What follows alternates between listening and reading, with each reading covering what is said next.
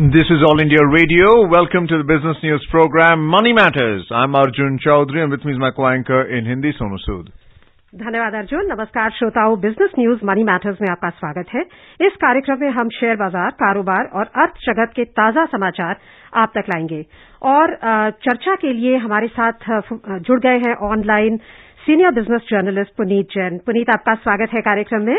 धन्यवाद सोनू और अब पहली खबर, घरेलू शेयर बाजारों में आज इनफैक्ट पहली खबर लेने से पहले हेडलाइंस पर एक नज़र डाल लेते हैं।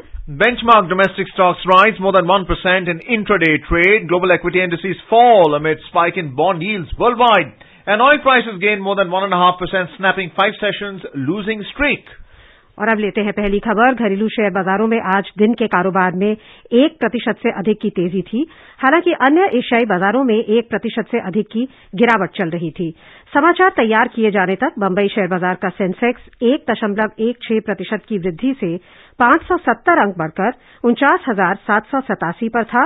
नेशनल स्टॉक एक्सचेंज का निफ्टी एक दशमलव एक नौ प्रतिशत की तेज़ी से एक सौ तिहत्तर अंक बढ़कर चौदह हज़ार सात सौ तीस पर था।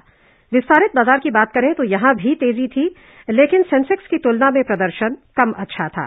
बीएसई मिड कैप सूचकांक दशमलव नौ नौ प्रतिशत की बढ़त पर था। बीएसई स्मॉल कैप सूचकांक में दशमलव शून्य आठ प्रतिशत की मामूली वृद्धि थी। पुनीत पाँच दिन लगातार सेंसेक्स में हमने गिरावट का सिलसिला देखा। लगभग चार प्रतिशत की कुल गिरावट हुई। आज जो हम एक कॉन्ट्रेरियन यू नो प्रदर्शन देख रहे हैं पॉजिटिव भारतीय बाज़ार में आ, हमने जैसे स्टोरी में पढ़ा कि अन्य एशियाई बाजारों में गिरावट है लेकिन भारतीय शेयर बाज़ार में तेज़ी है। क्या इसके पीछे आप कारण देखते हैं? तो देखिए, आज भी जब बाज़ार, जब शुरुआती दौर, जब बाज़ार खुले थे तो काफ़ी भारी गिरावट थी। इनफैक्ट निफ्टी 200 पॉइंट नीचे खुला था। और उसके बाद हमने देखा कि एक तो वैल्यू बेस्ड बाइंग बहुत हुई भारतीय बाजारों में। और शॉर्ट कवरिंग यानी जो काफ़ी दिनों से बाज़ार में बेचते आ रहे थे चाहे इंस्टीट्यूशन हैं या रिटेल इन्वेस्टर्स हैं, उन्होंने आज कवरिंग करी। तो शॉर्ट कवरिंग और वैल्यू बेस्ड बाइंग के आ, के कॉम्बिनेशन से हम देख रहे हैं कि बाजारों में भारतीय बाजारों में तेज़ी है। साथ में जो सपोर्टिव एनवायरमेंट है वो यदि हम डॉ फ्यूचर्स और नेस्डेक जो काफ़ी अमेरिकी बाज़ार जो काफ़ी गिरे थे कल उनमें आज जो फ्यूचर्स हैं वो ऊपर इंडिकेट कर रहे हैं कि काफ़ी वहाँ बढ़त रहेगी। तो मुझे लगता है पूरा जो माहौल है वो एक जो रिस्क ऑफ़ एक था सिचुएशन उसकी बजाय अब शायद रिस्क ऑन एक रैली हम देख सकते हैं तो मुझे लगता है शॉर्ट टर्म में एक बाउंस बैक मार्केट में आ रहा है uh, Puneet, uh, is this short covering uh, tactic uh, short term? Uh, are we going to see this market rally? Is it sustainable? Or are we going to witness a calendar effect, the markets only going up after the financial year ends on the 31st of March?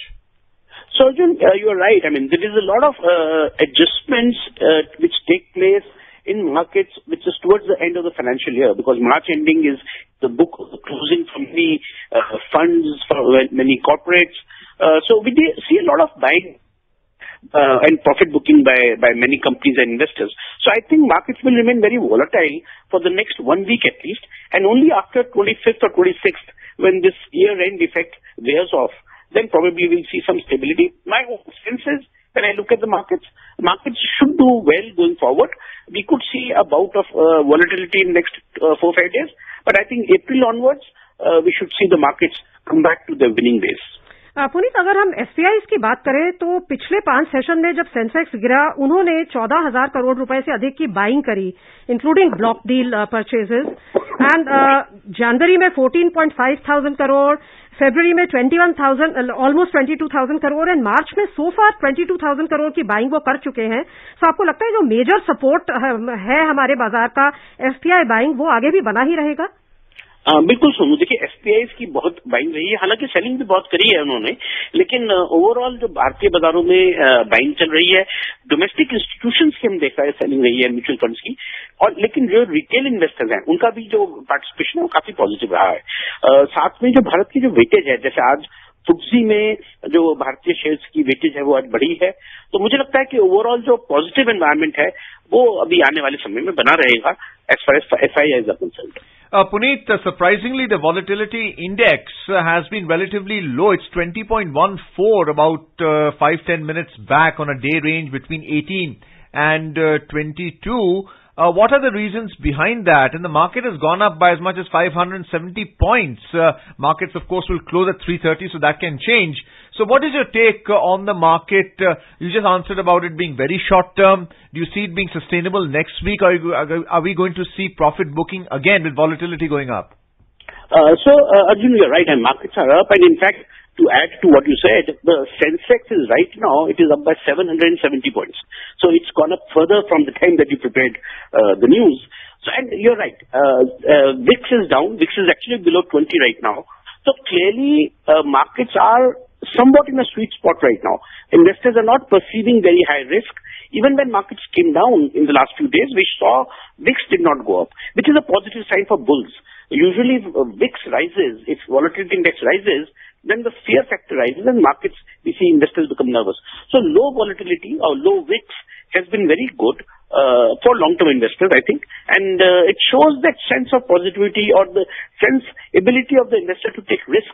I, I think that is what the low risk VIX is representing. Well, let's have a look at the currency market now. The rupee today appreciated marginally by 2 paise to 72 rupees and 51 paise against the US dollar. The domestic unit rose amid gains in the domestic stocks and fall in the American currency. The dollar index, which indicates the US dollar strength against a basket of six other leading currencies, fell 0.13% to 91.74. आइए अब रुक करते हैं अंतर्राष्ट्रीय बाजारों का। विश्व भर में बॉन्ड पर मिलने वाली ब्याज दर में बढ़त के बाद वैश्विक शेयर बाजारों में आज गिरावट आ गई। कोविड नाइन्टीन के मामलों में तेज़ी से भी निवेशकों की धारणा प्रभावित हुई। प्रमुख एशियाई बाज़ार लगभग डेढ़ प्रतिशत की गिरावट में रहे। चीन का शंघाई कॉम्पोजिट सूचकांक एक दशमलव सात प्रतिशत लुढ़क गया हांगकांग के हैंगसेंग और जापान के निकेई में एक दशमलव चार प्रतिशत से अधिक की गिरावट दर्ज हुई।